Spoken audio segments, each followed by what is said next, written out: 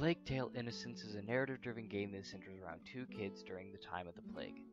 With that being said, this is not a happy story, far from it to say the least. In this review, I will cover what I think this game did well and what could have been better.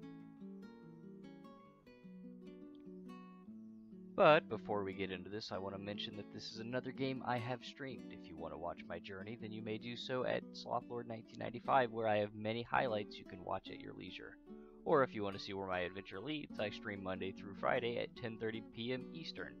Now that this is out of the way, let's begin the review. So let's start with the story. As I mentioned, it follows two kids. They're both siblings. You play as Amicia, who is protecting her little brother, Hugo. You both encounter many obstacles and even meet some friends along the way. There is always a doom lingering, whether it's the rare sickness your brother carries, the Inquisition who are after your brother because of his illness, and large hordes of rats. The story is pretty straightforward, but I think it's executed properly, especially in later parts where I felt the game as a whole became more developed. I also felt it was largely predictable, but with a few pleasant surprises. Now let's talk about gameplay. Most of the gameplay is split up between stealth and puzzle solving, and honestly, just like the story, I personally felt it all got stronger the more you progress through the story. As far as the stealth goes, it's not my favorite mechanic, but I think it really holds its own in comparison to other stealth games. But I really think the puzzle aspect is far more interesting. The puzzles aren't hard in the slightest, but they're very intuitive and clever, which really makes you feel good solving them. As you progress through the game, you obtain different items which affect how you solve levels. Some items struggle to maintain relevancy in later parts, but I think they all certainly have a place in your armory. To add on to this, there are different styles of puzzle solving. These styles depend on what you're currently facing. For instance, encounters with humans are more stealth reliant and require you to find proper distractions. Then there are encounters with rats, which I had more fun with because it's kind of the opposite, where you want to stay in the light and you want to look for the next light source.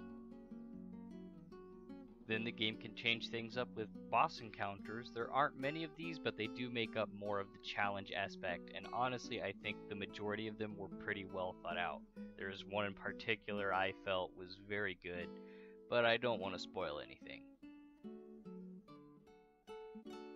Is also a crafting aspect to this game. You really want to collect everything you can because you will almost always need these items.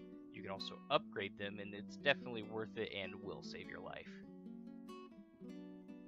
Now I want to talk about one important issue I had with the game, and it really boils down to the characters. Not that the characters are bad, they're fine, but it's more so the dialogue. There's an odd way the dialogue is presented, and the voice acting isn't bad, it's just that the lines seem to start immediately after the other ones. This flow of dialogue really sounds robotic and has no natural charm to it, and I think that's really off putting.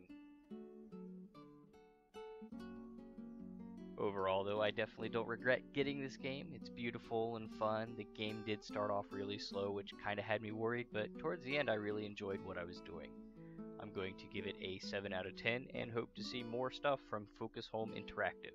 So, there you have it, my review on A Plague Tale Innocence. If you like my review, then please consider liking, commenting, and subscribing. If not, I want to hear your thoughts on the game. I'm Slothlord, and I will see you next time.